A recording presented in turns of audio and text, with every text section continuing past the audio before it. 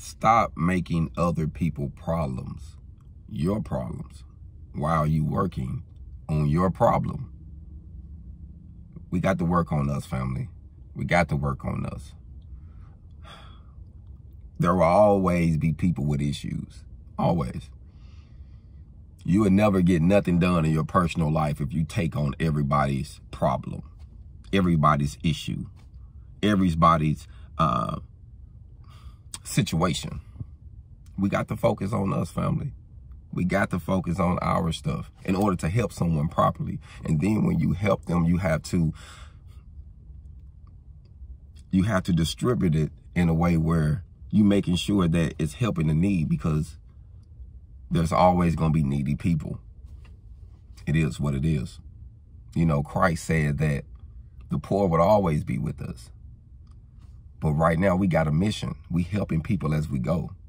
But we can't sit here and just focus on one group of people when we got the world we're trying to help. When we got uh, our race we're trying to help. When we're trying to change our family's uh, um, generational wealth and break some curses. We can't focus on everybody issues, but we can still help everybody. We can help people, but without putting ourselves in a bind. But if you're in a situation, family, let me say this. If you don't have yourself together, you shouldn't be helping nobody.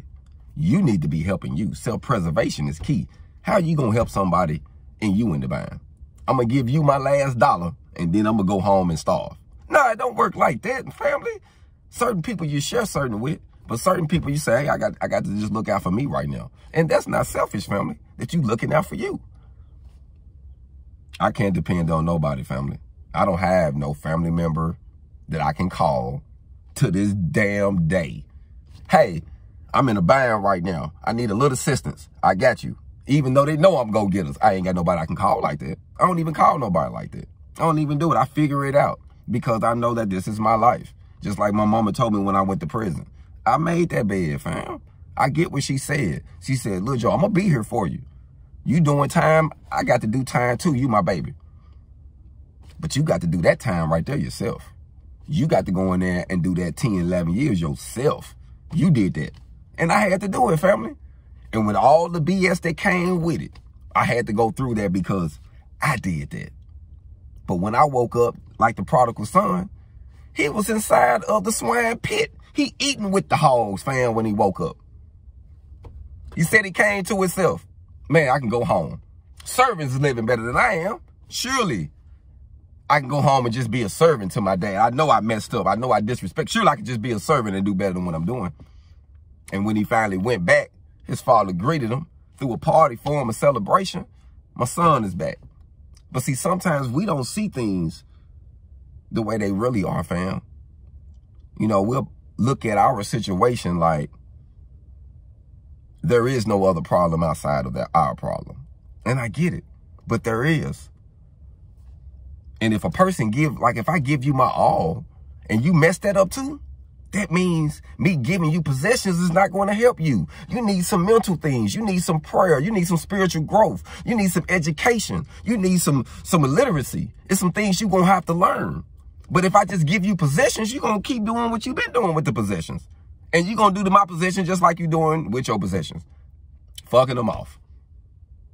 So family, this rising family, I'm only venting because we got to break this curse.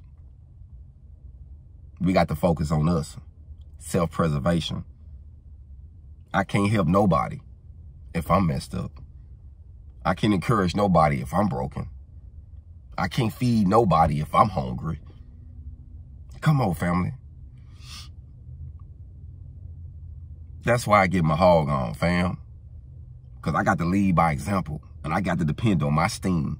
I got to depend on every day that God give me life and breath to wake up that I got to do something with it. And surely we're going to make mistakes along the way, fam. But it's okay to make mistakes. We going to fail. We're going to do. Just say, hey, my bad. Ain't nothing wrong with apologizing. I'm not saying I was perfect.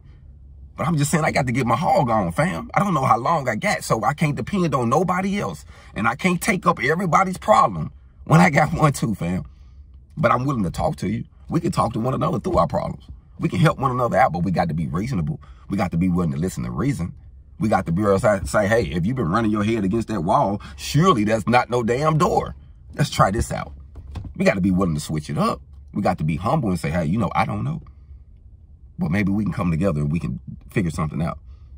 But we got to stop picking up everybody's problems. And we're not fixing our own. Hold on.